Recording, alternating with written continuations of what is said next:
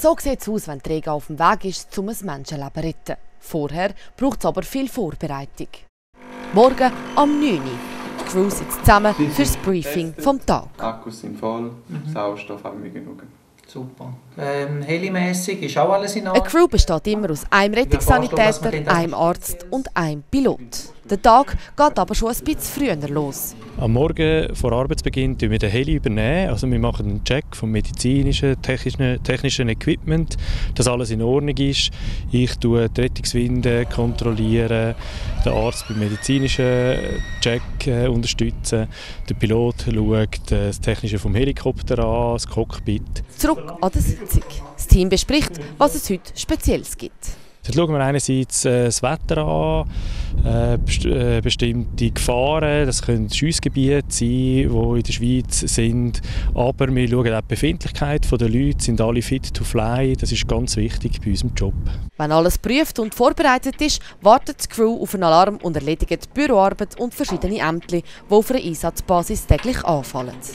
Ein paar Stunden später eine Ambulanz ruft Rega. Ein älterer Mann mit Verdacht auf Hirnblutung muss möglichst schnell ins nächste Zentrumsspital.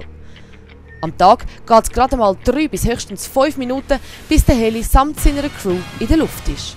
Bei uns haben wir natürlich im Vornherein schon jeden Handgriff abgesprochen. Also der Arzt weiß genau, was er macht, der Pilot und der Rettungssanitäter. Wir statten uns eigentlich nur mit Funkgeräten aus, aber der Rest ist eigentlich schon vorbereitet im Helikopter, dass wir eigentlich nur starten und sofort können auf den Einsatz gehen Auf zwölf feste Rega-Einsatzbasen verteilt gibt es jeden Tag rund 30 Helikoptereinsätze.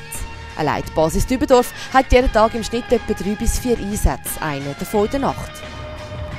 Nach rund zwei Stunden ist das Team wieder retour und macht alles wieder parat, dass man gerade wieder könnte abfliegen könnte. Ja, nach dem Einsatz wir etablieren, wir den Heli wieder tanken, Medizin, Equipment auffüllen und nachher geht natürlich die Papierarbeit los. Also die Rapporte müssen eingegeben werden.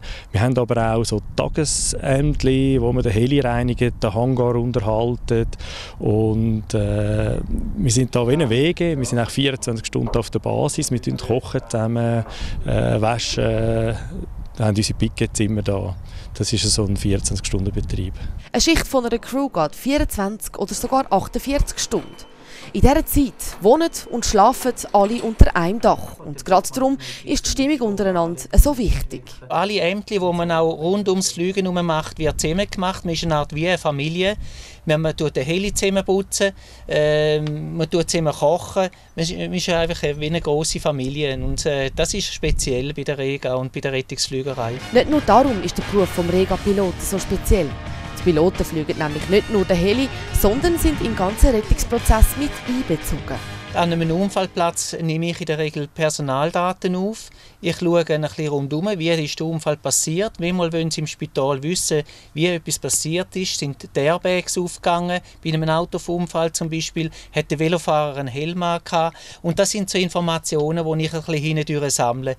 Dann mache ich auch Trageparag für den Transport vom Patienten und machen die Anmeldung im Spital, dass das Spital weiß, was sie erwartet, was für ein Verletzungsmuster der, der Patient hat. Jeder Teil der Crew rettet also mit. Es ist das klassische Beispiel von «Zusammen sind alle stark».